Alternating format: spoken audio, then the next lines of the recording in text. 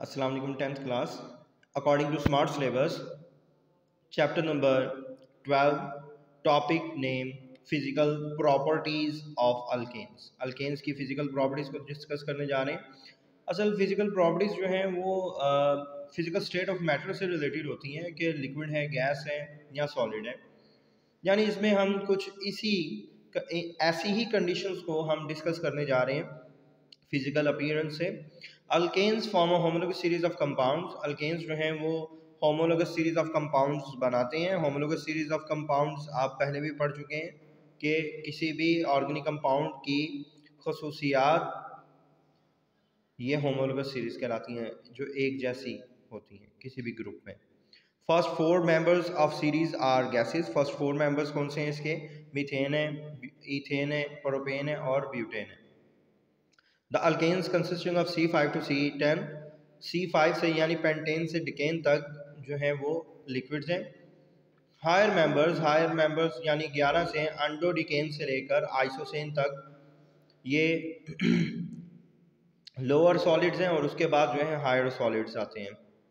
While higher members of the series are solids they are non polar जितने भी organic compounds हैं वो non polar होते हैं।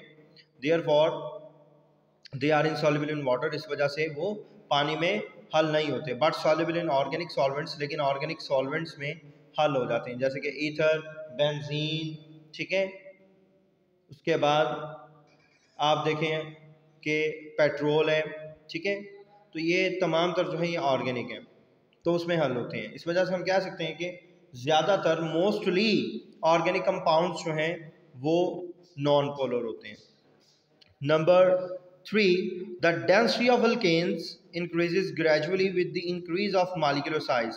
Molecular size बढ़ने से उनकी डेंसिटी में इजाफा होता जाएगा क्योंकि वो रिजिड फॉर्म में आते जाएँगे।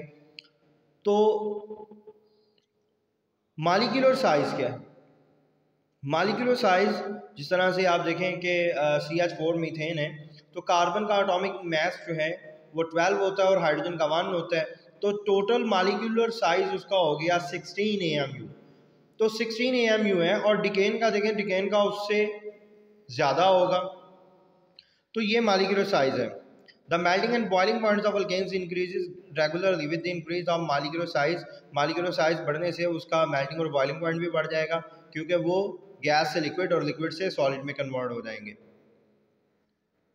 This is because of increase of attractive forces between the molecules of alkanes. Number five, the alkanes become more viscous as their molecular size increases. ठीक है मतलब वो viscous होते जाएँगे ज़्यादा गाढ़े होते जाएँगे Number six, alkanes become less flammable, more difficult to burn with the increase of molecular size. ठीक है यहाँ तक स्टूडेंट्स आप इसको अच्छे तरीके से याद करेंगे अल्लाह हाफिज़